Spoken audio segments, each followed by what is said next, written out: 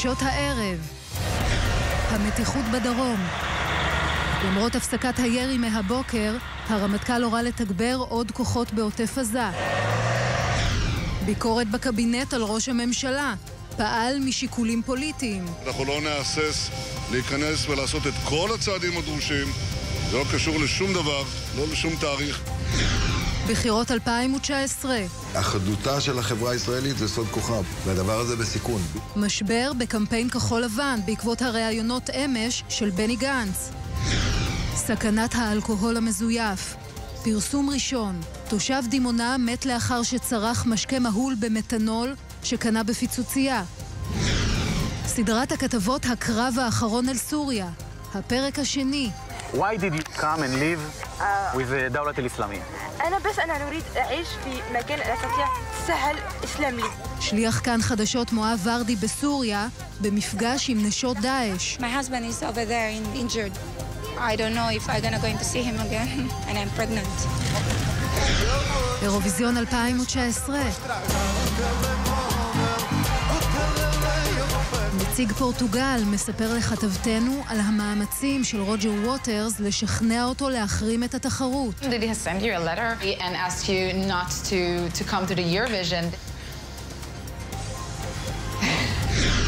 וגם האי נעלם. בנובמבר הלכתי ברגל ההיא. לא תאכל כבר. אין, אין, זה עמוק.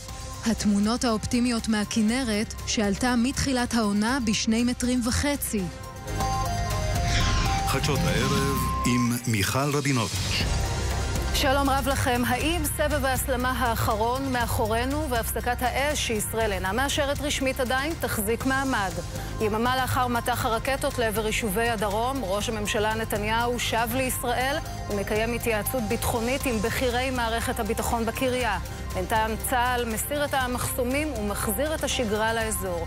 אנחנו הערב שוב בכל המוקדים עם כתבינו ופרשננו אסף ליברמן, רועי שרון ואיציק זוארץ בקיבוץ זיקים, משה שטיינמץ בקיבוץ נירם, כאן באולפן גילי כהן ורועי קייס, ירון דקל באולפן שלנו בתל אביב.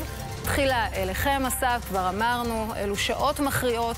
וכדי לקבל את אותה אינדיקציה לאן זה הולך, השטח בינתיים מאותת על סוג של הבנות. כן, אז מצד אחד, מיכל, גורם מדיני אומר, אה, האש יכולה להתחדש בכל רגע, ואם זה יקרה נכה בעוצמה. מצד שני, חזרה לשגרה, הנחיות פיקוד העורף מדברות על כך שכל המגבלות הוסרו. מצד שלישי, רועי שרון כתבנו, אנחנו רואים בשטח אה, תנועה של כוחות. מה זה תנועה של כוחות? הרמטכ"ל כוכבי מסיים הערכת מצב בשעה האחרונה, מחליט על תגבור נוסף של כוחות. גם את חטיבת הצנחנים הוא מקפיץ כאן לעוטף עזה, גדוד נוסף של תותחנים, לוחמים נוספים של אה, מילואים, גיוס מילואים אה, נוסף שקשורים ליחידות סדירות, מקפיא את סבב היחידות בתוך יהודה ושומרון כדי שיוכל לשחק יותר עם כוחות כאן בעוטף. כל התמונות האלה כאן מאחורינו פרוסים כאן עשרות טנקים של חטיבה 7, חטיבת גולני כבר כאן, כשברקע אנחנו שומעים אין הפסקת אש, אבל לא יורים.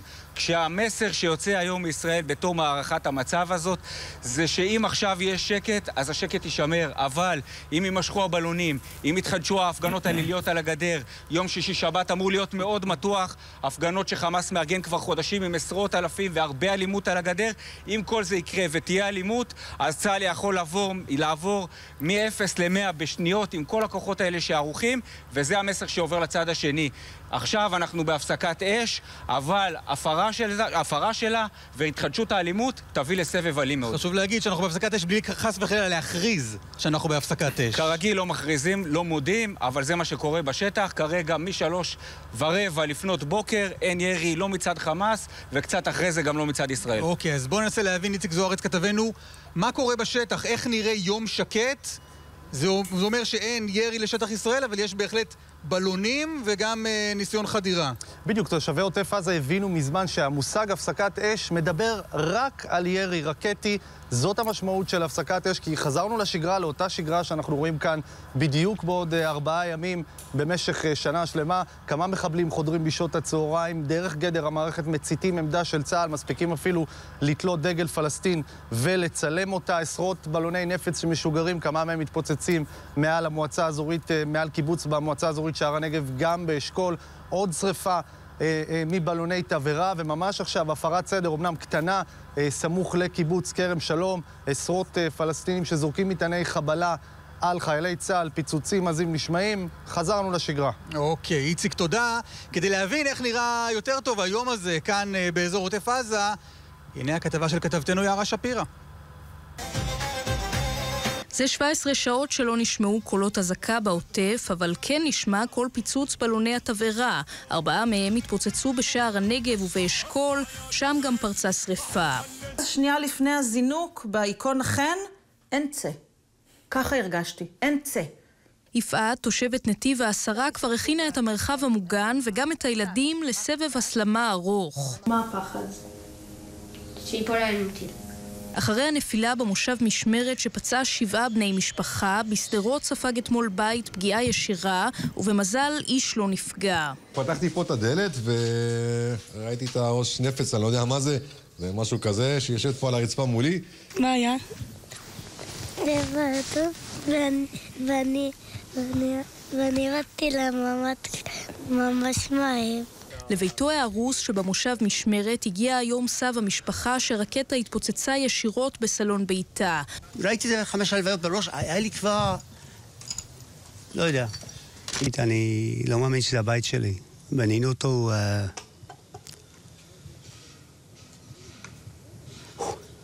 אמש הגיעו לתושבי הדרום דיווחים על הסכם הרגיעה עם חמאס, ולא התקבלו בשמחה רבה. אני ידעתי שתהיה הפסקת אש, כי אנחנו אימפוטנטים. אבל גם אחרי השעה שנקבעה לפי הדיווחים להפסקת האש, נורו עוד כ-30 רקטות לעבר שטח ישראל, עד קצת אחרי שלוש בלילה. צה"ל בתגובה תקף הלילה כ-15 יעדים ברצועת עזה, בהם לשכתו של אסמאעיל הנייה, ראש הלשכה המדינית של חמאס. הלימודים הושבתו ברוב יישובי הדרום, ובהם באר שבע, אשדוד ואשקלון, ותושבי העוטף הונחו להישאר סמוך למרחבים המוגנים. מה המשמעות של יום כזה מבחינתך? יום כמו היום, אני לא עובדת. ברגע שמתחיל המתח, אני עוזבת הכל ואני מתעסקת רק, ב, רק, רק בעניין המצב. יפעת והילדים מחליטים לצאת למרכז המסחרי הסמוך, לא לפני התלבטות לגבי הנסיעה לשם. הילדים לא שמים חגורות. כי אם במקרה, במצב הזה של ה...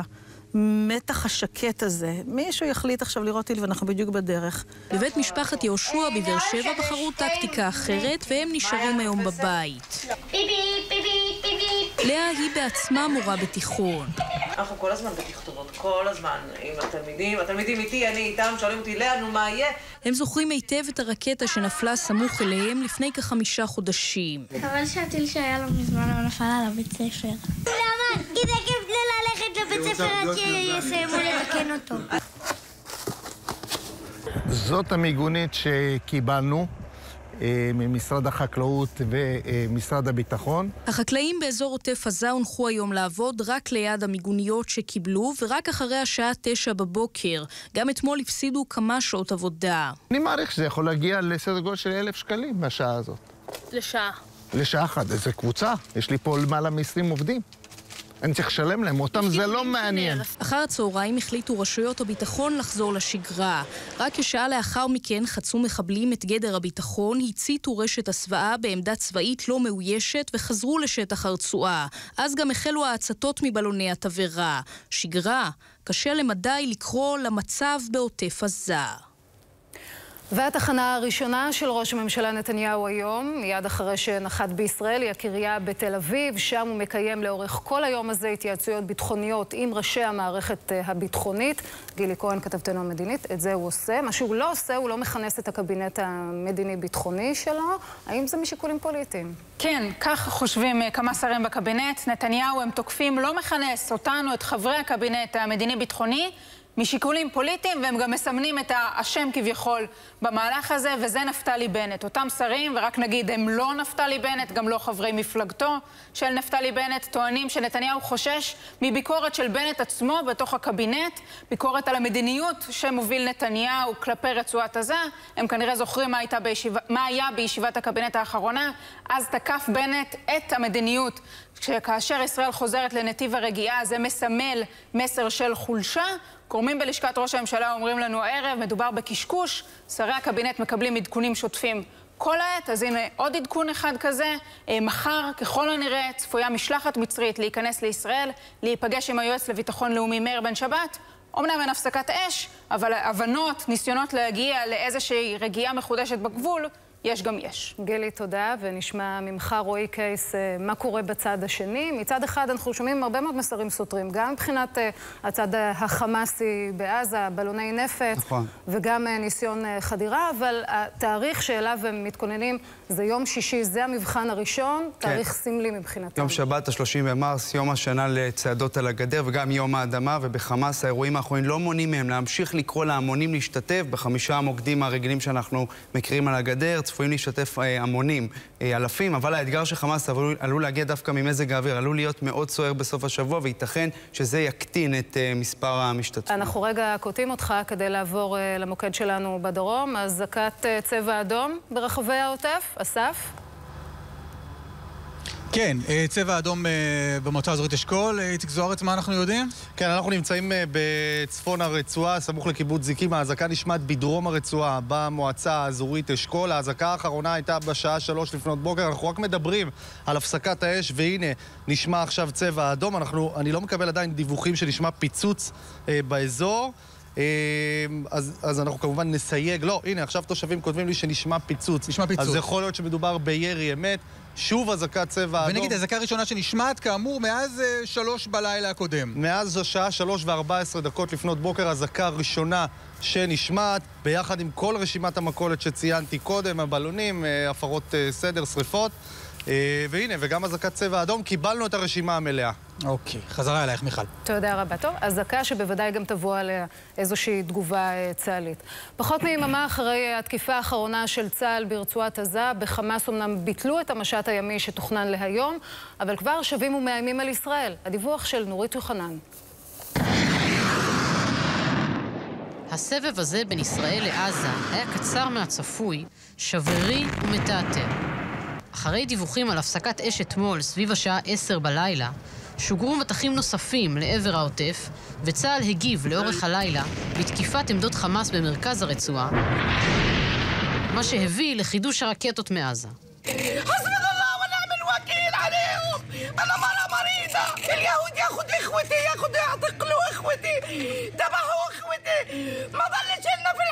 احنا ساكنين هون اربع خمس عيال يعني بعد الدار هذه ما قصفت ملناش مأوى ملناش غير الله احنا حسبي الله ونعم الوكيل على كل ظالم وبن حرام بس. למרות המראות הקשים ותיעוד ההפצצות של רבי הקומות, בעזה מסיימים את הסבב הזה בנזק גדול רק במעט מהתקיפות השגרתיות של עמדות חמאס. עשרה נפצעו, מרביתם קל, ונגרמו נזקים למבנים סמליים, כמו הלשכה של מנהיג חמאס אסמאעיל הנייה, שנהרסה עד היסוד. למה?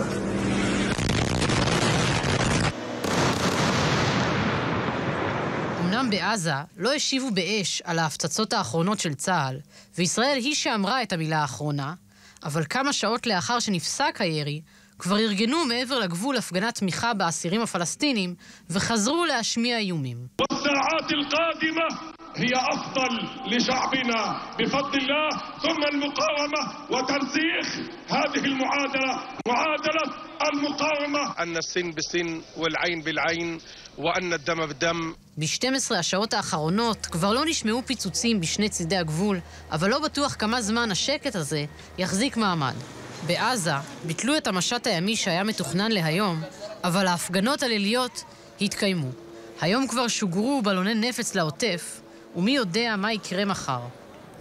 אוקיי, okay, רק נזכיר uh, לכם, למי שמצטרף אלינו עכשיו, הייתה אזעקת צבע אדום לפני uh, דקות אחדות במועצה האזורית אשכול. עכשיו אנחנו איתך, ירון דקל, uh, פרשננו, עם המשמעות הפוליטית שבועיים לפני הבחירות. איזה תפקיד פוליטי תמלא הפסקת האש, ה... כבר לא הפסקת אש, אבל הבלתי מוכרזת הזאת עם חמאס בחלון הזמן הזה? כן, מיכל, ראש הממשלה נתניהו אה, נמצא שוב בדילמה לא פשוטה, רק שהתזמון, הטיימינג, שבועיים לפני הבחירות, רק מחריף אותה. האם אה, ללכת להפסקת אש עם החמאס ולאפשר לאביגדור ליברמן ולנפתלי בנט להסתער על אה, קולות הימין? או להסכים לפעולה של צה"ל שעשויה, עלולה להסתבך ולגבות נפגעים בקרב חיילי צה"ל.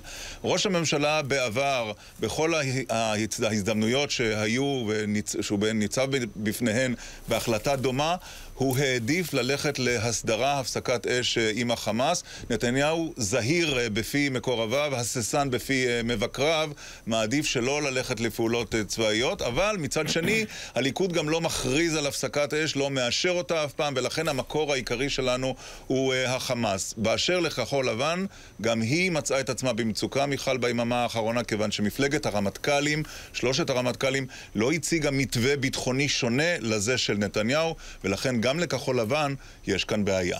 תודה רבה, ירון. אנחנו כמובן עוד נחזור לעניינים הפוליטיים, אבל ראש הממשלה, כזכור, קטע את ביקורו בארצות הברית כדי לנהל את האירוע הביטחוני. רגע לפני שהוא עולה למטוס בדרכו לישראל, הוא מדבר עם עיתונאים ולא מגיב כלל להסלמה בדרום, עד שאת, גילי כהן, כתבתנו מדינית, שאלת אותו בנושא.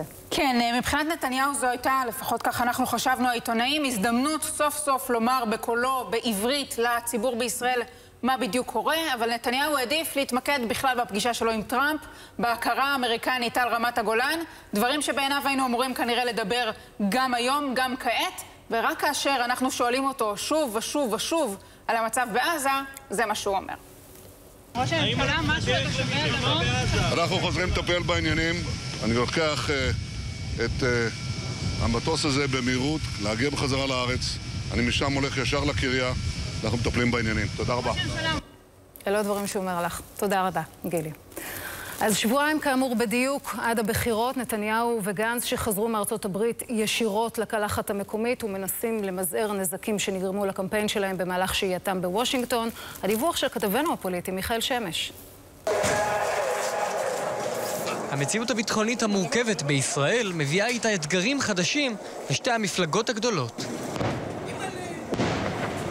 בליכוד, ראש הממשלה נתניהו, שהיה אמור לחגוג את הישגיו בוושינגטון, מהפגישה עם טראמפ ונאום באייפאק, נאלץ לוותר על כך, וחזר ארצה בבהילות. והחמאס צריך לדעת שאנחנו לא נהסס להיכנס ולעשות את כל הצעדים הדרושים. זה לא קשור לשום דבר, לא לשום תאריך, אלא לצרכים של ביטחון ישראל, זה מה שמנחה אותי. עם נחיתתו נדרש ראש הממשלה ושר הביטחון להמשך ההתייעצויות הביטחוניות, וגם לביקורת החריפה מימין. מרוב ההרתעה, במרכאות, כבר הבוקר שורה של בלוני נפץ התעופפו מעזה לכיוון ישותי, יישובי העוטף. הבוקר ההנהגה הביטחונית לא מספקת ביטחון לדרום. גם במפלגת כחול לבן נדרשו למצב הביטחוני. יושב ראש המפלגה בני גנץ נתן שני ראיונות מוושינגטון. אולי זה היה הג'טלג, אבל הראיונות לא היו מוצלחים במיוחד, ובליכוד ניצלו את ההזדמנות להציג את גנץ כמי שאינו שפוי. חבריי מכירים אותי, יציב לחלוטין, הציבור מסתובב, שופט אותי, רואה את זה בכנסים. נדמה לי שאפילו הסקרים די... יציב לחלוטין. בכחול לבן לא נשארו חייבים.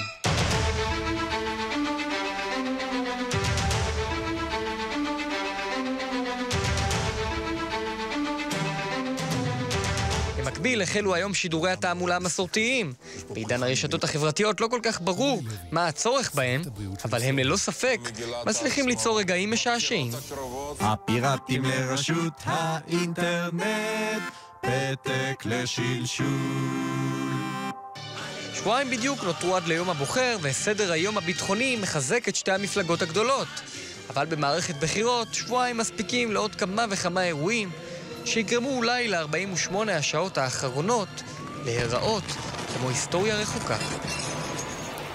כן, הכל כאן מתגלגל מהר מאוד, יואב קרקובסקי, ראש התחום הפוליטי שלנו, אז בואו נדבר על המשבר בשני הקמפיינים של שתי המפלגות הגדולות. נכון, אז נתחיל אה, מדברים ששמענו קודם אה, מירון. קודם כל, אה, המשבר שנתניהו נתון בו שבועיים לפני הבחירות, כל החלטה שהוא מקבל בעצם היא גרועה מאוד מבחינתו. מצד אחד מכרסם אה, בתדמית הביטחונית שלו, אחד בשם נפתלי בנט, קובע שהוא כמעט לא כשיר לשמש שר ביטחון. רק שוכח נפתלי בנט שזה אותו ראש ממשלה שמתווה את המדיניות לשר ביטחון ששמו אהוד ברק, משה יעלון, אביגדור ליברמן או אולי נפתלי בנט בקדנציה הבאה. אז נתניהו, כל החלטה שלו היא בעייתית. מצד שני, לנפת... לבני גנץ משבר אמיתי. ההקלטות שנחשפו בסוף השבוע והראיונות שהוא נתן ביממה האחרונה פגעו פגיעה תדמיתית קשה בו, ובכחול לבן מנסים לאושש את הקמפיין שבועיים אה, לפני הבחירות. זה זמן מספיק מבחינתם אולי למזער את הנזקים, אבל גורם בכחול לבן אומר, הראיונות האחרונים היו אה, ראיונות בעייתיים מבחינתו של אה, גנץ. לא לוקחים אדם לא מנוסה לראיון מול מצלמה בלוויין עם כל הדיליי והמשמעויות שלו, גם כשהוא מרגיש רע אה, לראיון מהסוג הזה, ועל כך ייערך ברור בתוך המטה של כחול לבן, איך הדבר הזה מתרחש, ולא עושים ראיון מול מצלמה, לדוגמה מול הכתבים שליוו את ראש הממשלה, גם הם היו יכולים לראיין את בני גנץ. או שהמליצו לא לשתוק. תודה רבה, נכון. יואב, על הדברים. חוזרים למציאות הביטחונית בדרום, רועדת מפחד, מחבקת את הכלב ומתכסה בשמיכה עד מעל הראש. כך תיעדה את עצמה הלילה עינב כרמי מקיבוץ ניר-עם. הסרטון הזה שהעלתה הפך במהרה לוויראלי, והמחיש יותר מכל את המציאות העגומה שבה אלפי בני אדם במשך שנים ארוכות מנסים להירדם תחת איום הטילים ורעש צופרי האזעקה. רום ליאור מביא את סיפורה.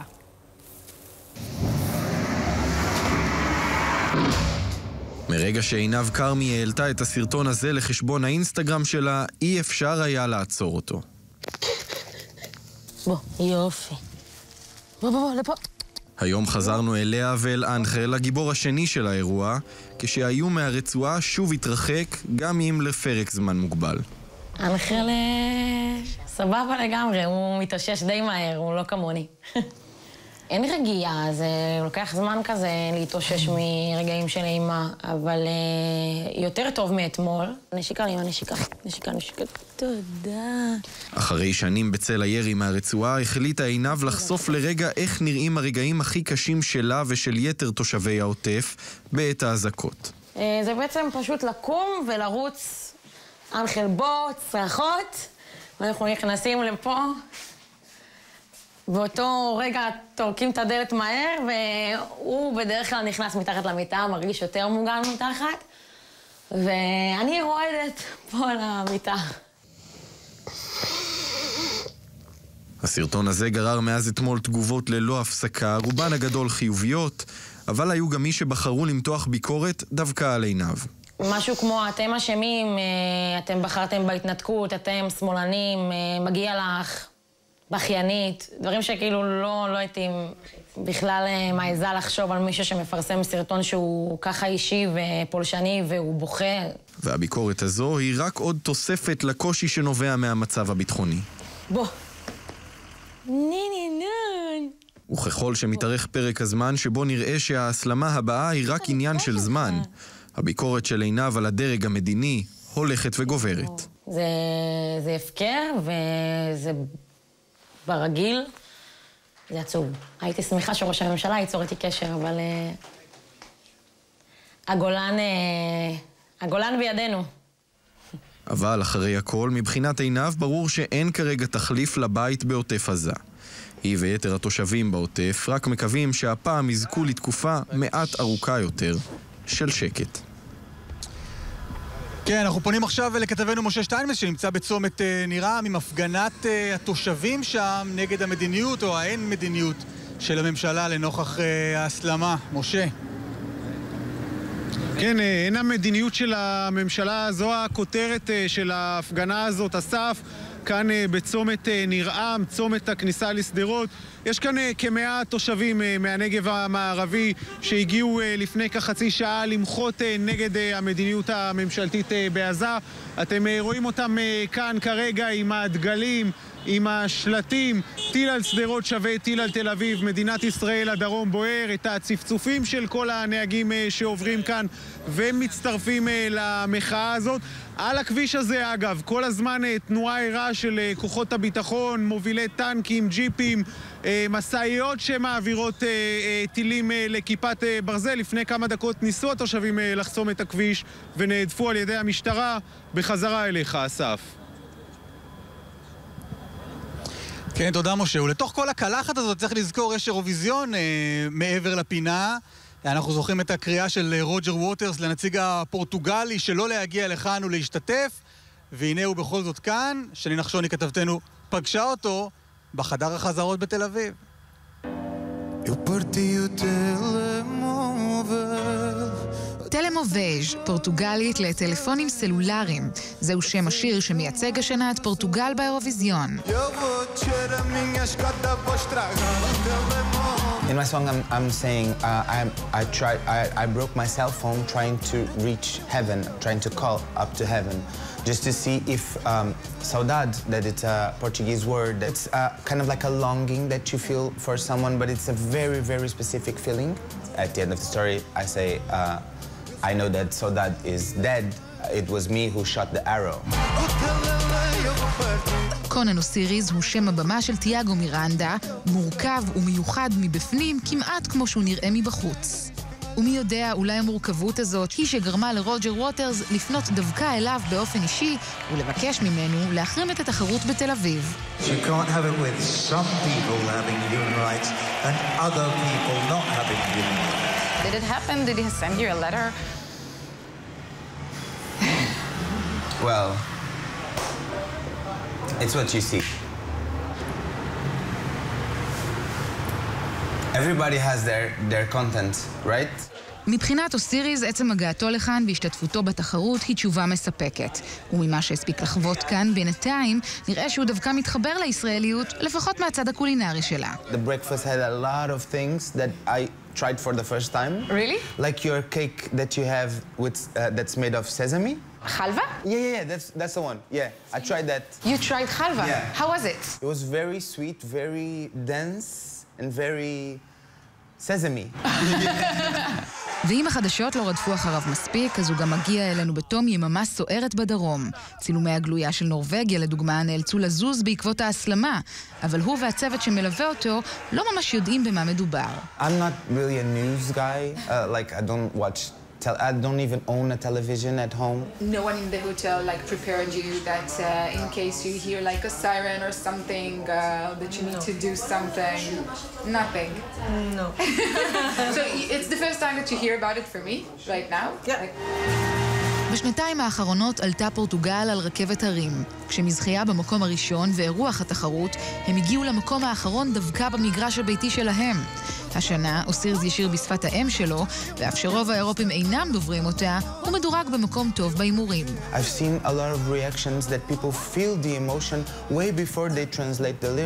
So that the feeling that I need that I needed to pass on the song and they felt it, that's perfect.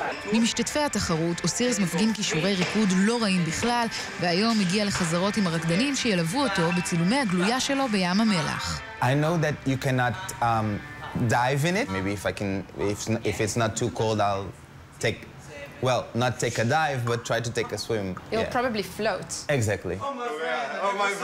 ועל הדרך, לגמרי במקרה, הוא גם פגש את קובי מרימי שלנו, ובאופן מטאפורי, הוא עבר שרביט אירוח האירוויזיון בין הנציגים. It's not hot enough to go to the beach, right? You can go to the beach. You can, but you will not freeze. No. We'll see. Yeah. We'll see. We'll see. Never mind. Yeah. Yeah. Israeli humor. No. כשאנחנו מגיעים לשיעור העברית המסורתי שלנו, קונן בוחר ללמוד את שורת המחץ מהשיר שלו, שאולי גם תשמש אותו במקרים נוספים. שבחתי את הפלאפון. Oh, that's pretty good. I sound natural, no? Yeah, that sounds almost Hebrew.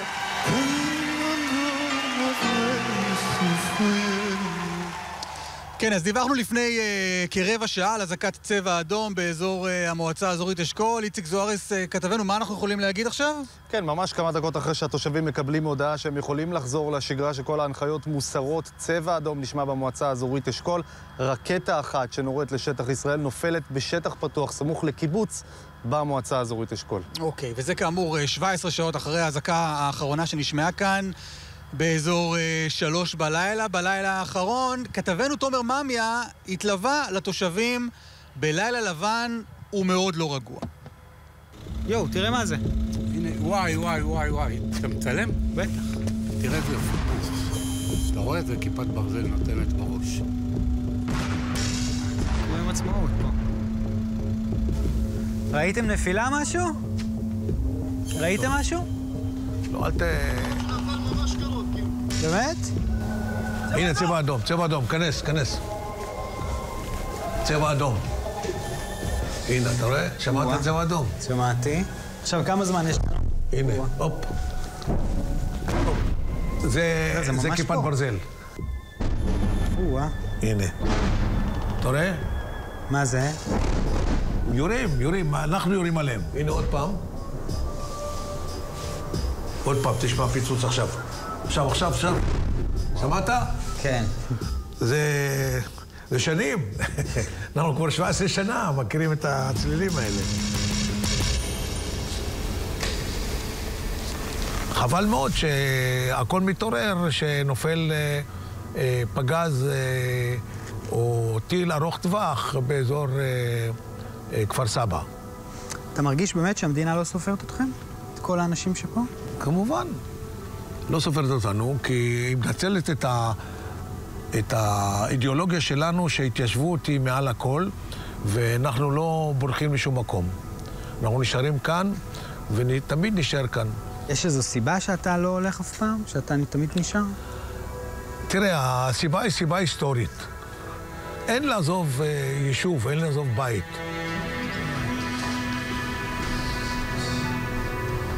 נכנסנו לממ"ד, שמעתי את הפיצוץ, אני הבנתי שזה פה. באמת?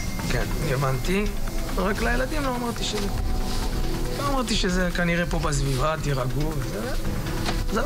עוטף עזה זה מי שגר פה, זה צריך להיות אדם או שהוא לא שפוי. זה לא עוטף עזה, זה חוטף. או זה חוטף, עבר לך על הזמן, מכל הכיוונים. אנחנו סובלים פעמיים, גם מעצמנו וגם מהם.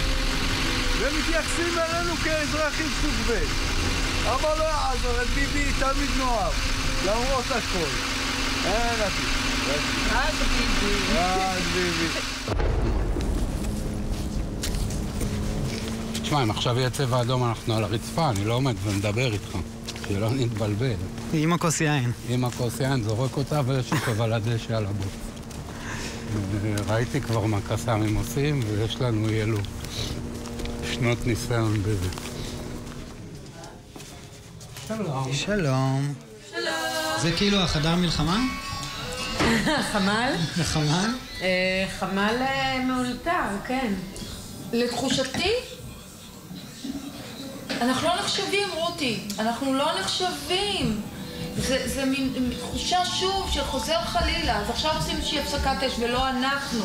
נוצר איזשהו מצב שעזבו ומציק לפיל. מציק לפיל, ואנחנו בקטע הזה מקבלים את זה, כי זה בסך הכל אנחנו מנפנפים את האוזן. ועוטף עזה זה האוזן של מדינת ישראל. עפתי לכיוון אה, תל אביב, אז פתאום מסור כל עושים מלחמה. זה נראה לך הגיוני? מה שהיה לא, כאן, מה לא, שהיה כאן בגלל אתמול, זה אני אומרת, הייתה כאן לא אתמול. מלחמה פי עשר ממה שהייתה, מהטיל שנפל, אה, לא. איך זה נקרא, במשמרת? משמרת. לא נזלזל בטיל, בנזק ובמה שהם לא. זה שופטל אבל רותי, מה בשישים. זה לא נזלזל? אנחנו בטל בשישים, זה מי 20 מזלזל. בזה? מי מזלזל בזה? אנחנו ניזוקים כבר 20 שנה. לא- ובאופן כללי רוצה ש, שיהיה שקט כך או כך, אה, וכמה שפחות סבבים וכל מה שכרוך בזה. יש כל מיני... הכריזו על הפסקת אש עוד שעה. כן? כן. אתה אומר את זה? כן, כן, קיבלנו הודעות עכשיו. אה, נפלא. איזה... כאילו, אני, אני מתה על הממשלה הזאת עכשיו. אז מי בעד הפסקת אש פה? אחד. אה, תמיד כל זה- לא עניין של טיל אחד על תל אביב, זה עניין של זה שצריכים להחזיר את ההרתעה כנגד אה, החמאס, רצועת עזה, ווטאבר. ואת זה, לצערי, עוד לא עשו. הסתיים האירוע. עד הפעם הבאה. תהיה פעם הבאה, אה? תשמע, אם לא... אם לא הצלחנו היום לסתום להם את הפה. אז יהיה. לצערי. זה ה- זה הבא. חיים בין סבב לסבב. אנחנו עם עניינים אחרים בחדשות. אדם מת אתמול בבית החולים סורוקה לאחר ששתה אלכוהול מזויף שעורבבו בו מתנול, חומר שמוגדר רעל, ואת, קטי דור, ראש תחום הבריאות שלנו, חושפת את המקרה הזה שהוא, אפשר לומר, קטי, חלק מתופעה. כן, אה, נכון מיכל, מדובר בגבר בן 55 אה, מדימונה, הוא שתה אלכוהול מזויף, הוא הגיע לבית החולים סורוקה בקריסת מערכות ושם אה, קבעו את מותו. הוא שתה אלכוהול מזויף שעורבב עם חומר שנקרא מתנול, שזה ממש מוגדר כרעל, אפשר למצוא אותו ברדיאטור של מכוניות ובתעשייה. במשרד הבריאות בודקים היום מהבוקר חוקרים איפה הוא קנה את האלכוהול המזויף הזה, ואם יש עוד אנשים שקנו את אותו אלכוהול והם עלולים היו להיחשף לרעל הזה. בעצם רק לומר כמה מילים על התופעה הזאת. יש בישראל מעבדות שמכינות אלכוהול אה, מזויף, ומערבבות את האלכוהול עם כל מיני חומרים אה, זולים. המשטרה פשטה על אה, כמה מעבדות כאלה לפני כמה חודשים, ואפילו ביצעה מעצרים, אבל הנה אנחנו רואים שהתופעה הזאת חוזרת, וביתר דרמטיות אדם מת מזה, וזה מסוכן בעיקר לבני נוער. איך אפשר לדעת להיזהר מאלכוהול אה, מזויף? רוב האלכוהול המזויף הוא מסוג וודקה, ערק וברנדי. המחיר נמוך באופן משמעותי, אם רואים שזה עולה 10-20 שקלים לבקבוק, צריך להבין שייתכן שיש פה משהו אה, חשוד וזה לא אלכוהול מקורי. וגם אם התווית נראית אה, לא, שלא כתוב עליה שום דבר, שהיא נראית מוזרה, שאין עליה פרטים, אישור משרד הבריאות, ברקוד או שם היצרן, גם אז צריך, זה צריך להדליק נורה אדומה, ומשרד הבריאות אומרים שיש עשרות אלפי בקבוקים מזויפים כאלה בשוק, ולכן צריך להיזהר. עשרות אלפים. טוב, צריך לבחון היטב. תודה רבה לפני שקונים. תודה. פרשת הצוללות עכשיו, המשטרה החליטה לשחרר היום ממעצר את מיקי גנור, עד המדינה בפרשת הצוללות שחזר בו מחלקים מעדותו. כך פרסם היום בצהריים בפעם הראשונה כתבנו לענייני משטרה רועי ינובסקי. גנור היה אמור להישאר במעצר עד יום חמישי, סנגוריו ביקרו במהלך השבוע את ההחלטות להאריך את מעצרו, וטענו כי ניסיון להתחשבן איתו בעקבות צעדיו, ואין באמת עילה למעצר. גם במשטרה הגיעו למסקנה במהלך השבוע כי ניתן להמשיך את החקירה מבלי שגנור יהיה במעצר. מכאן אנחנו לפרק השני בסדרת הכתבות המיוחדת של מואב ורדי, ראש תחום החוץ, הקרב האחרון על סוריה. והערב תיעוד דרמטי ונדיר. שליחנו לסוריה פגש את הנשים והילדים של אנשי דאעש שהובסו בקרב על העיירה בהוז, לאחר שהם נתפסו בידי הכוחות הכורדים. בשיחות איתם עולה השבר, האכזבה והחשש מחלום המדינה האסלאמית שהתרסק, אבל גם אמונה יוקדת ומטרידה בדרך האכזרית והלא אנושית של הארגון. הנה הכתבה.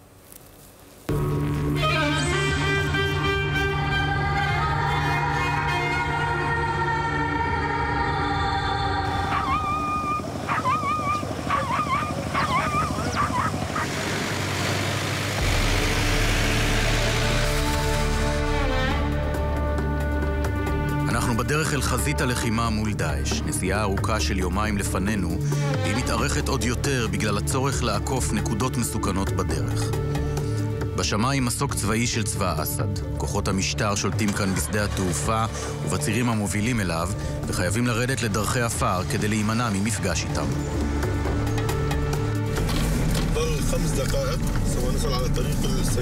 אנחנו נוסעים דרומה, לכיוון דיר אזור, המקום שבו עמד הכור הסורי שהשמידה ישראל. שם נפנה מזרחה לאורך נהר הפרת, עד לאזור שבו מתנהל הקרב המכריע נגד דאעש בסוריה. האזור שבו אנחנו נוסעים היה עד לא מזמן בשליטת דאעש. היום הוא בשליטת הכורדים, ובכל זאת, השטח לא נקי, הדרך לא בטוחה. يوجد فيه خطورة السيارة تكون سريعة لا توقف בכל כמה קילומטרים מחסום של הכוחות הכורדים שמוודאים מי נוסע על הציר. איתנו ברכב חייל חמוש. אנחנו רוצים לעצור לצלם, אבל המלווים שלנו דרוכים, לא מוכנים לעצור בדרך הארוכה אפילו לא לדקה. אין לדעת מי נמצא כאן ומי מעביר מידע על עיתונאים זרים שעושים את הדרך דרומה. خلايا نايمة أوكي؟ داعش؟ داعش داعش ومشلحين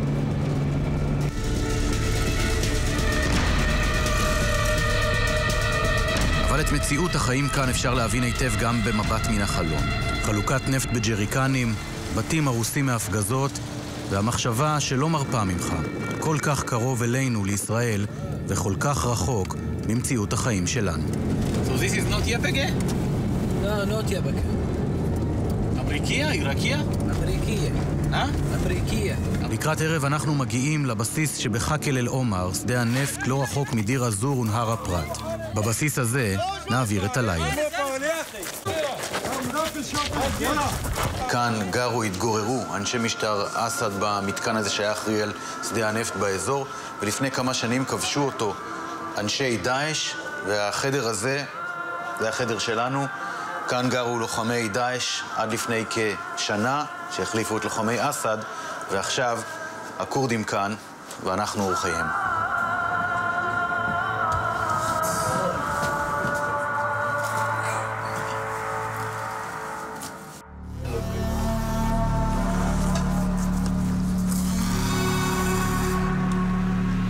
למחרת אנחנו יוצאים לכיוון העיר בהוז, המעוז האחרון של דאעש בסוריה, העיר שמחתרים עתה הכוחות הכורדים.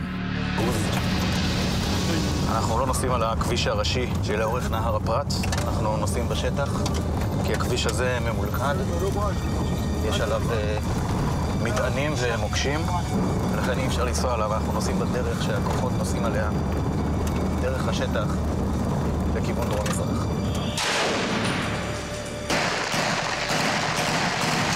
جي ايرو قرار هاد قرتن وتعليمات قرار قرتن سلاح خد قران وهم هوان هم دست بشار دقن وقف بيران شفري حالي بشيدن وشر بردوامه במרחק של כחמישה קילומטרים מבהוז אנחנו עוצרים. Thank you. הכוחות הכורדים הכריזו על הפסקת אש הומניטרית כדי לאפשר למשפחות של לוחמי דאעש לצאת החוצה מהעיר.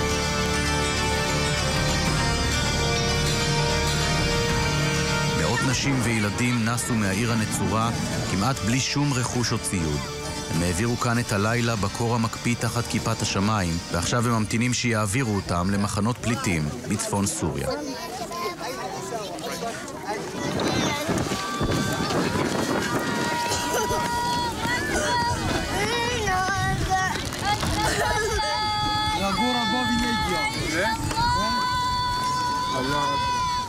What's your name? أم نوح Umm Nuh. And how old are you? آه، 28 28. And how many kids do you have? آه، three kids Three kids. yes two kids or two in the Islamic States אום נוח הגיעה לכאן, לסוריה, לפני חמש שנים מבלגיה. היא נישאה לגבר סורי והקימה כאן משפחה. גם היא, כמו הנשים האחרות כאן, ברחה אתמול מבהוז לאחר הפגזות וירי בלתי פוסק. لا لا ليس واحد دقيقة م- وقف ليس و... دائما كل موت أنا أشوف موت أمام لا أستطيع يعني آه، مساعد آه، مصاب لا أستطيع أن أفعل ولا شيء بس أنت تأخذ أولاد ون- و- ونروح من من مخيم إنه نروح إنه نروح لا أعلم بس زوجي قال امشي امشي امشي امشي انت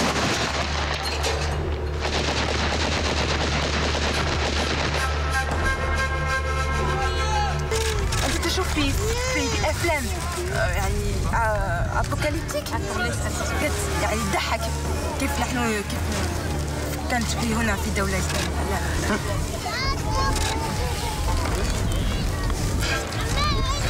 شو اسمها؟ عليا هاليا؟ نعم عليا كان مريضة جدا لا يوجد دواء لا يوجد طعام لا يوجد شيء. الحمد لله. الحمد لله معتها قليل حليب والآن هي طعم زنا.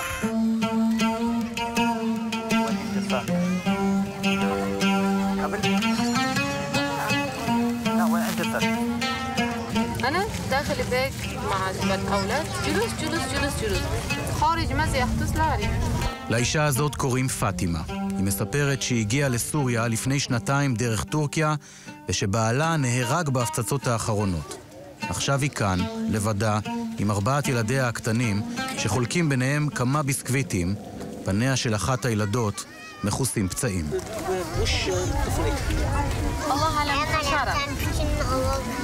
أعلم حشرة من حشرة من حواء نعم And what's going to be next? أنا يعني أمي أبي كان في جبهة النصرة ممكن إدلي ممكن في تركيا يعني لا يوجد حرب يعني. הגברים או שנהרגו או שנשארו להילחם מאחור, או שנלקחו בשבי ונמצאים ממש כמה מאות מטרים מכאן, מהנשים והילדים שלהם. הטור הארוך של הגברים שאנחנו רואים פה הם לוחמי דאעש שנתפסו או ברחו מבהוז בימים האחרונים.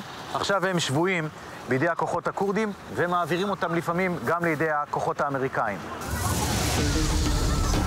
לפתע כל הנשים והילדים מתחילים בריצה לכיוון משאית שהגיעה למקום. ארגון סיוע בינלאומי הביא לכאן פיתות, ועכשיו נעמדים כולם וממתינים. שני טורים של נשים, טור אחד של ילדים, מחכים לקבל פת לחם. עובדי ארגון הסיוע מבקשים ליצור סדר, שלא תהיה התנפלות. בכל פעם אישה אחת מורשה לעבור את הפתח בין שני הרכבים ולקחת שקית של פיתות לילדים.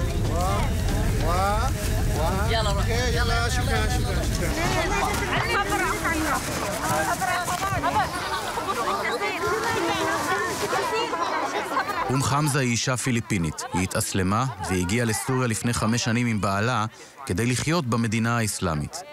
עכשיו היא כאן לבדה עם שלושה ילדים. Where is your husband? My husband is over there in, injured. He was injured, so they separate us last night. I don't know where is he now. Do you have an idea? When will you see him? No, I don't know if I'm gonna going to see him again, and I'm pregnant.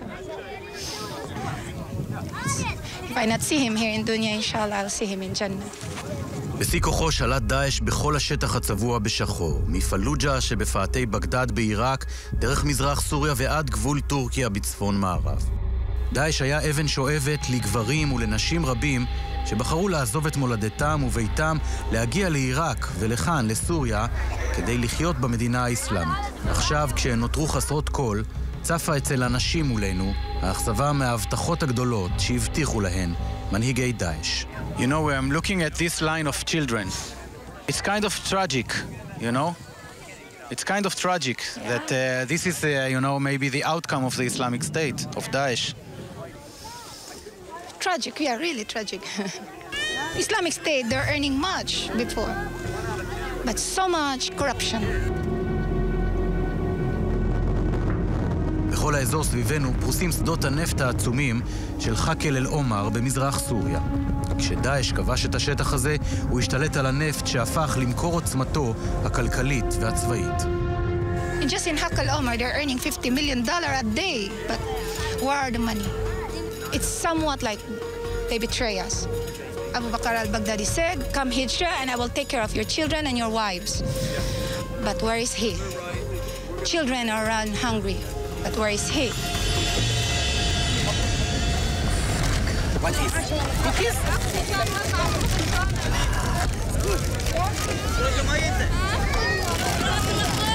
אתה מתפתה לחשוב שהן בטח סבלו בכל השנים האלה שחיו תחת שלטון המדינה האסלאמית עם חוקי השריעה הנוקשים. אבל אולי, רק בראש שלנו, במערב, זה באמת נתפס כך. Why did you leave your home in Belgium and decided to come and live with the دولة الإسلامية? أنا بس أنا أريد أعيش في مكان أستطيع آه، سهل م- م- آه، م- م- إسلامي يعني في بلجيكا في بلجيكا ناس آه، ستار ممنوع. الشباب تقريبا ممنوع. لا, لا يريد. القران الكريم يقولون نحن ممنوع تعيش في ممنوع. أنا بس أنا أسمع يعني جد مكان يقولون تعالوا. أنتم يعني أنا عطيكم بيت طعام كله أنتم تعيش. وإسلامكم يعني عادي بسم الله. نحن هذا السبب أنا يجي في في إسلامي ستيت Life was good with Daesh, not so good with Daesh. No, can good. Uh, it's a, a simple life. I'm living in my home. I have, I eat for my, my children. I, I live. I live. Nobody uh, come to home say, uh, come on, uh, kill uh, something. No, no. I live. למרות האכזבה מאבו בכר אל-בגדדי ומנהיגי דאעש, האמונה האדוקה שלהם בפרשנות המעוותת הזאת של האסלאם, האמונה הזאת לא פגה, גם לא נחלשה.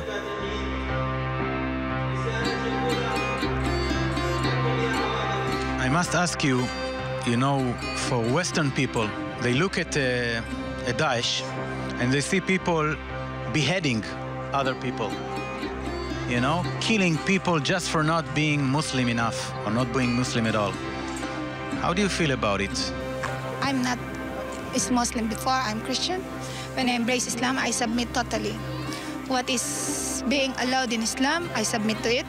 And what is being not allowed to Islam, even if it is not okay with me, I have to submit because it's Allah's word. Allah, Allah wants uh, to people be beheaded? If it is fighting against Islam, yes. It was that Banu Qurayza, they betrayed the Muslims, so they were beheaded. Do you have anything against Jews? Jews? They were the enemies. Uh, the, soon they will be the enemies of Islam. In the time, in the during the end of times, there will be a fight between Muslims and the Jews. This is what I learned.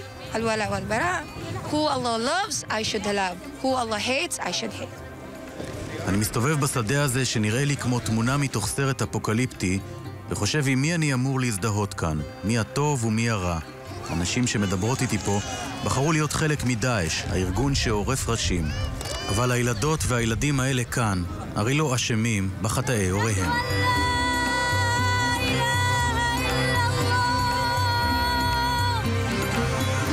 לפתע, כל תפילה מפלח את השדה הפתוח, וזה קול של ילד.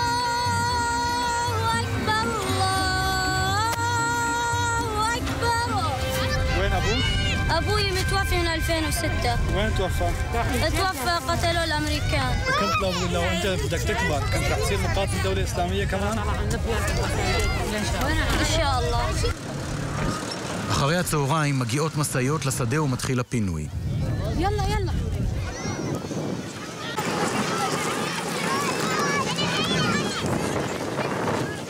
לוקחים את הרכוש המועט שאיתו עזבו את הבית ועולים למשאית שתיקח אותם למחנות הפליטים צפונה מפה.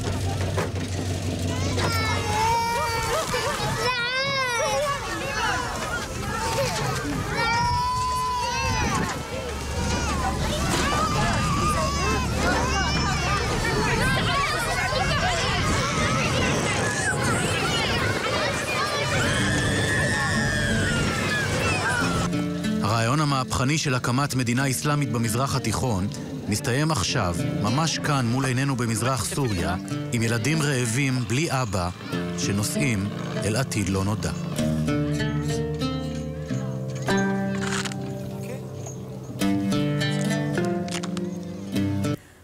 ואחרי הפרק המרתק הזה נספר לכם שמחר, בפרק האחרון של הקרב האחרון על סוריה, החלום של הכורדים בסוריה למדינה עצמאית נשבר אל מול הפניית הגב של העולם כלפיהם. מואב ורדי פגש לוחמים כורדים שאחרי שהחרפו את נפשם, מבינים שחלום המדינה העצמאית כנראה נגוז. עכשיו אנחנו ממשיכים בפרויקט אחר, הפרויקט שלנו מסע מקומי, שבמסגרתו אנחנו עוברים בעשר ערים שונות במדינת ישראל ובודקים האם השתנו דפוסי ההצבעה. והערב חיפה, האם העיר, שבמשך עשרות שנים נחשבה לעיר האדומה שמצביעה קבוע שמאל, שינתה את הצבע? יפעת גליק עם התשובות. שלום. באיזה פתק תבחרו? עדיין מתלבטים. או מרץ, או גבאי, או לא, אני גנץ. גבאי לא. אם אני. צריך זה מישהו מהימין, אז זה יהיה בנימין נתניהו. לא. מי, אני אקח את הימין החדש? לא, לא. במי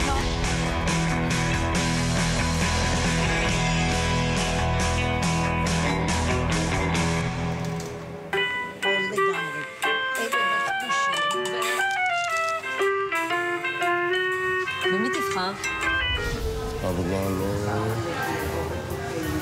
הנה, ברמטכ"לים. ברמטכ"לים. כן, מה שאתה מכנה הרמטכ"ל. כן. את הליכוד בכל מקרה צריך להוריד. אני הצבעתי כל החיים בשביל מפלגת עבודה. אין, אין בשבילי. הכל מחשב. רק לא ליכוד. זה? זה? זה אתה מסכים? אבל זה לא יעזור לך. הם, הם, הם על הסוס.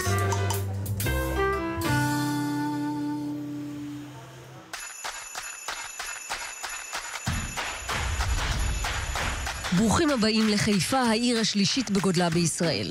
281 אלף תושבים, רוב יהודי, מיעוט מוסלמי, נוצרי ודרוזי. פוליטיקאים תושבי העיר, משה כחלון ועאידה תומא סלימאן. יותר מ-20% מהאוכלוסייה כאן נחשבים מבוגרים, מעל גיל 65. יודעת איזה כוח אלקטורלי אנחנו? ואז הוא צעק שהערבים לא. בוקר טוב. שלום. מה תרצו? רק ביבי בא בחשבון, אין משהו. זה טלוויזיה? אוי יופי, מתי רואים אותי? כולם צוחקים. איפה... איפה בני גנץ? פה. מה, איך הפוליטיקה נראית מהעיתון הזה? אני אגיד לך, אני לא הייתי קונה את זה, אבל היות והם מחלקים אותו פה, אז אני גם קורא את זה. אם גנץ לא מסוגל לשמור על הטלפון שלו, כן, איך ישמור על המדינה? אני חושב שזה ממש ספין לא במקום.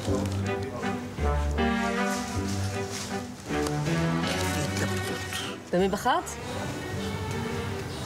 מרצ. מרצ. אבל אני מתלבטת היום. לדעתי, אין לתת את הכל למפלגה קטנה. אנחנו לא מדברים על פוליטיקה פה. כן. אנחנו אה, כן? בפאנל פה אנחנו מדברים על פוליטיקה. לא, החלטנו שלא מדברים. פעם הראשונה שדיברנו זה היה השבוע. אנחנו בהחלט החלטנו פה בפאנל בערב, עוד לפני שהיית, שאנחנו לא מדברים על פוליטיקה. לא, אבל מה אתם חושבים על הייצוג הנשי? אני חושבת אנחנו יותר חכמות מהגברים ויותר מבינות, וזה אני בטוחה. מצטרפת לדעתך. היה לנו את גולדה שהייתה גדולה, אבל לבוא ולומר שהם טובים יותר מהגברים? לא הייתי אומר. אני ברצינות חושבת, אנחנו גם מעשיות יותר, מבינות יותר. אני לא מנסה אפילו להילחם נגד נשים. לא שמענו אותך.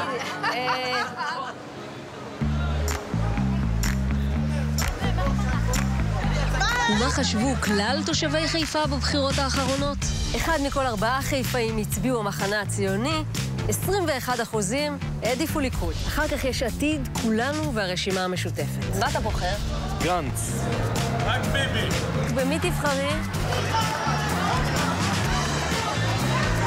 אני מרץ.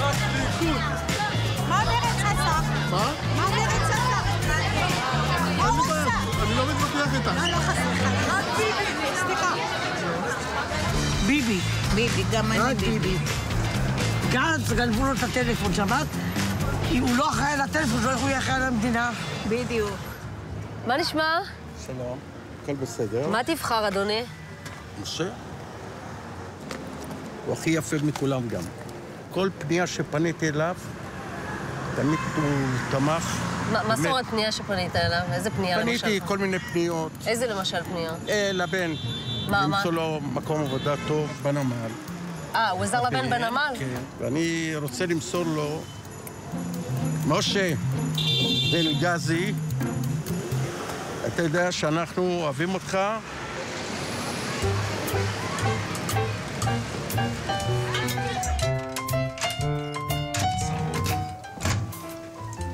עדיין אכפת לך כל כך מה יהיה וזה? זה לא מעייף באיזשהו שלב? בהחלט, בהחלט שאכפת לי. אני לא, לא, לא רק בשבילי, אני חי. יש לי גם דורות הבאים שעליהם אני צריך לחשוב.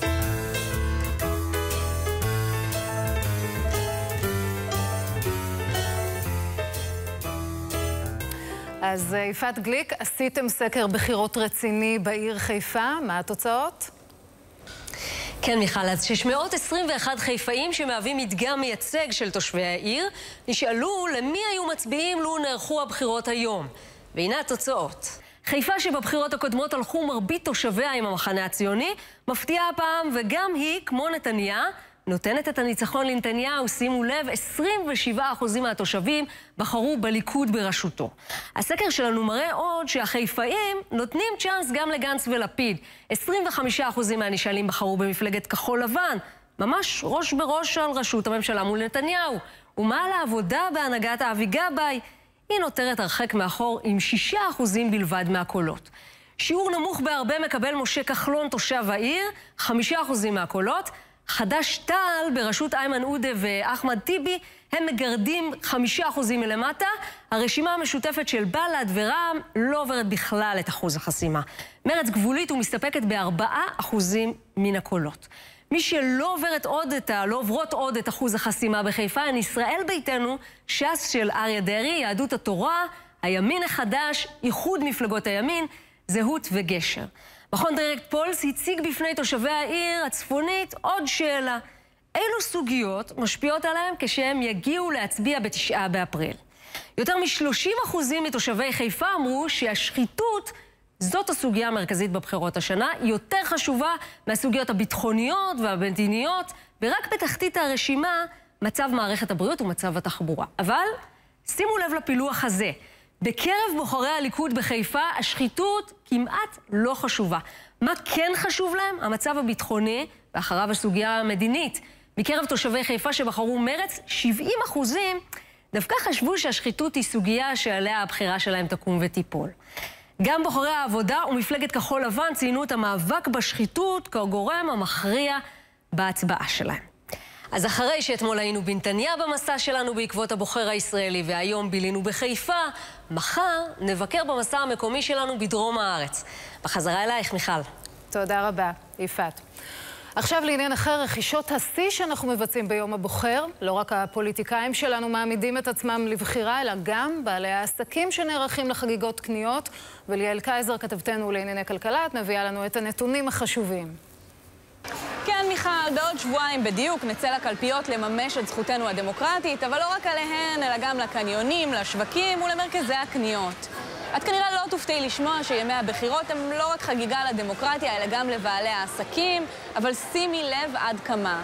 בבחירות לרשויות המקומיות לפני ארבעה חודשים, שהיו יום שבתון, יצאו 57% מבעלי זכות ההצבעה להצביע, ובדרך גם גייצו בכרטיסי האשראי לא פחות מ-835 מיליוני שקלים, ביותר מ-4 מיליון ו-300 אלף עסקאות. בבחירות הכלליות האחרונות לפני ארבע שנים ניצלנו את היום כדי לעשות קניות בסכום כולל של כ-700 מיליון שקלים, ובסך הכל גיהצנו את כרטיסי האשראי יותר משלושה מיליון פעמים. ביום הבחירות לכנסת התשע עשרה, לפני שש שנים, קנינו ביותר מחצי מיליארד שקלים. לפי נתוני חברת שווה, שמפעילה את מערכת התשלומים הלאומית בכרטיסי אשראי, בימים האלה, ימי הבחירות, הישראלים מוציאים בין 20 ל-25 אחוזים יותר ביחס לימי העסקים הרגילים. השעות העמוסות ביותר בחנויות נרשמו בין 11 ל-3 אחר הצהריים. ומה יהיה השנה? בעלי העסקים כבר מתחילים במבצעים מיוחדים לרגל חג הקניות בתשעה באפריל. גם התחבורה הציבורית בפעם הראשונה תהיה השנה חינם לכולם. חוץ מלנסוע איתה לקלפי, כנראה שרבים מהבוחרים יוכלו להגיע איתה גם לקניון. ליאל, תודה רבה. ואנחנו חוזרים למתיחות בדרום. אסף ליברמן, חמאס, למרות ההכרזות על הפסקת אש, בודק את אה, גבולות הגזרה שלו ומשגר רקטה בערך לפני כחצי שעה לעבר הדרום. נכון, מיכל, אז דיווחנו כאן אה, לפני קצת יותר מחצי שעה על צבע אדום, ובעקבותיו אה, התפוצצות של רקטה באזור המועצה האזורית אשכול. איציק זוארץ כתבנו, מה אומרים בצד השני של הגבול בנוגע לירי הרקטה הזו? כן, אז חמ"ל הפלגים הפלסטינים מוציא הודעה ממש עכשיו, זה חמ"ל שחברים בו גם חמאס, גם הג'יהאד האיסלאמי. הם מכנים את הירי הזו, את הירי הזה פעולה יחידנית ומחוץ לפעילות החמ"ל. אז בתוך עשרה ימים היו לנו שתי טעויות, ירי לגוש דן, ירי לשרון. ועכשיו מונח ו... חדש. פעולה יחידנית מחוץ לקונצנזוס אה, של אותו חמ"ל פלגים. יפה, מעניין. איציק, תודה רבה. אמ, מיכל, אנחנו מדברים כאן בימה האחרונה, מאז אה, הירי לאזור השרון, על האפשרות שיהיה כאן מבצע שיתפתח ויתערב אולי במערכת הבחירות. אורי לוי אה, שלנו יצא לדרכים ונזכר בשתי מערכות בחירות שגם בהן התערבבו להם אה, מבצעים צבאיים יחד עם פוליטיקה.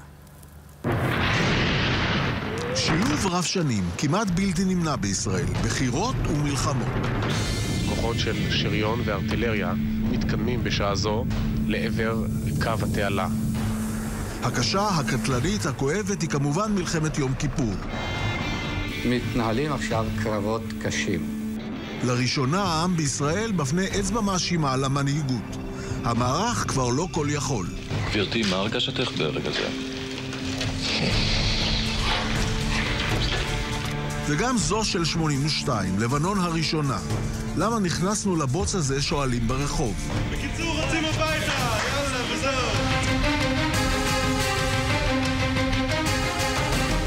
ב-17 לאפריל, בן 93.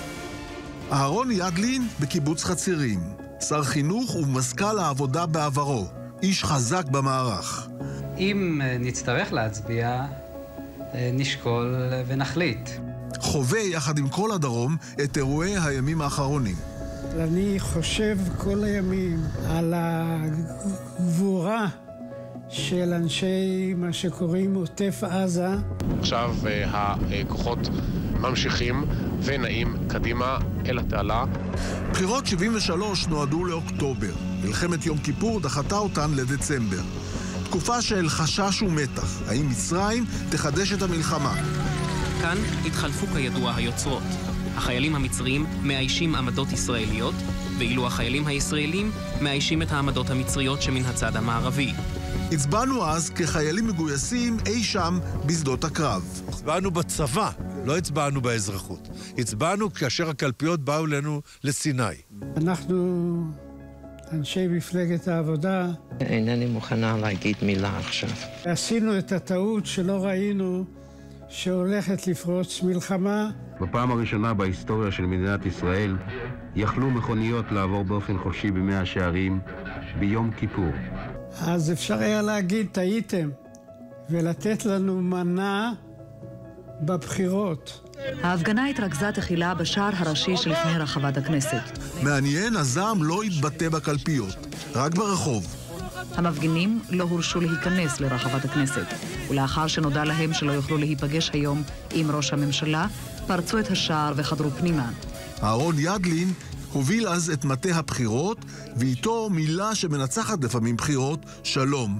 אמרנו לעם, תראו, הייתה מלחמה קשה, ניצחנו בה, ואנחנו עכשיו, אחרי המלחמה, מתחילים בתהליך שלום.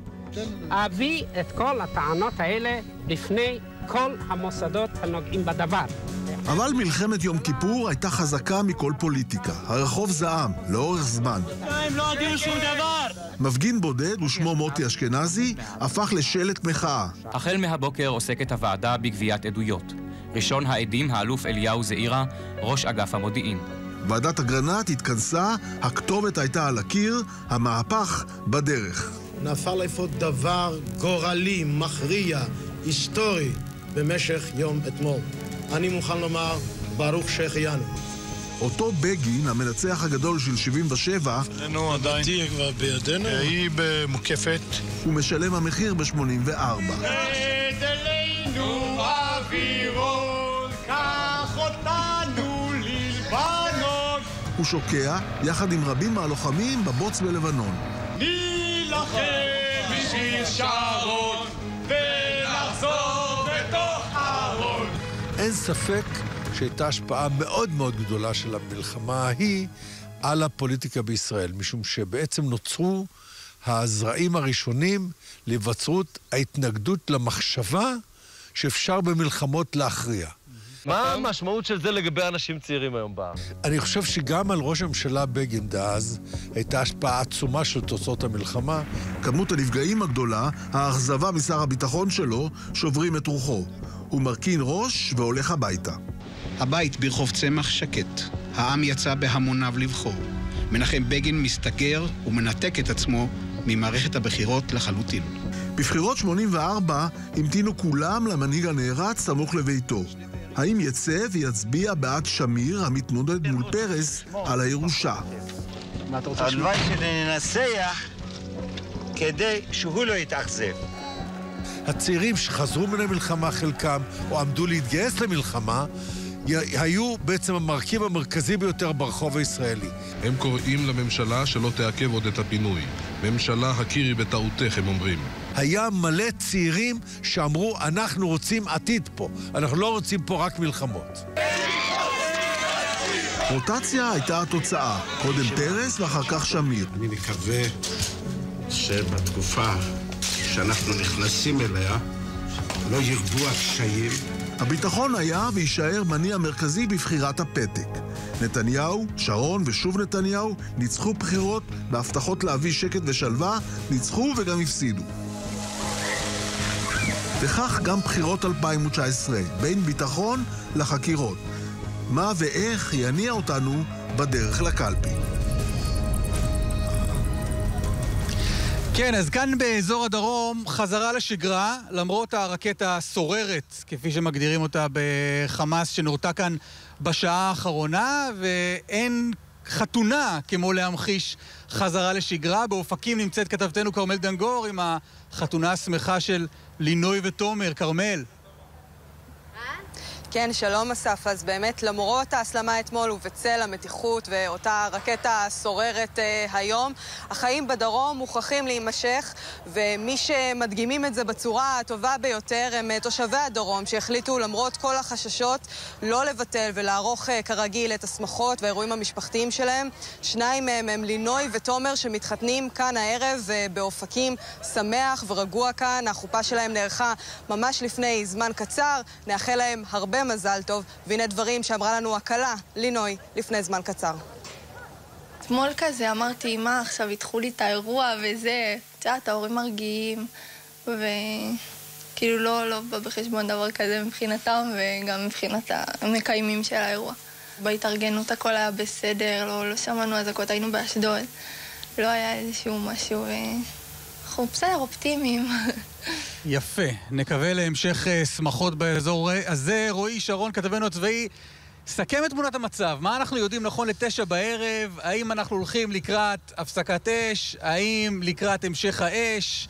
מה קורה? אה, כשמדברים על הפסקת אש, אז השאלה מה, מה היא כוללת וכמה זמן היא תימשך, ובכלל מסתבר הערב שהפסקת אש היא מונח יחסי, כי ראינו היום גם בלונים, גם חדירה לתוך אה, שטח ישראל, וגם בשעה האחרונה... רקטה מחוץ לקונצנזוס. רקטה שאיש לא לוקח עליה אחריות אה, ברצועת עזה, יש שם הרבה טעויות בחודשים האחרונים. ויש מגוון, קשת רחבה של טעויות אפשריות, מסתבר. נכון, אז זאת טעות מסוג של רקטה שפוגעת בחבל אשכול, בשטח פתוח, והערב גם ראינו את הרמטכ"ל הרמטכ"ל שערוך גם לאפשרות הזאת שהפסקת אש באמת לא תחזיק מעמד והוא מקדם לכאן, לעוטף עזה, את חטיבת הצנחנים ביחד עם הרבה מאוד כוחות שיש. גם מאחורינו, חטיבה 7 של הטנקים.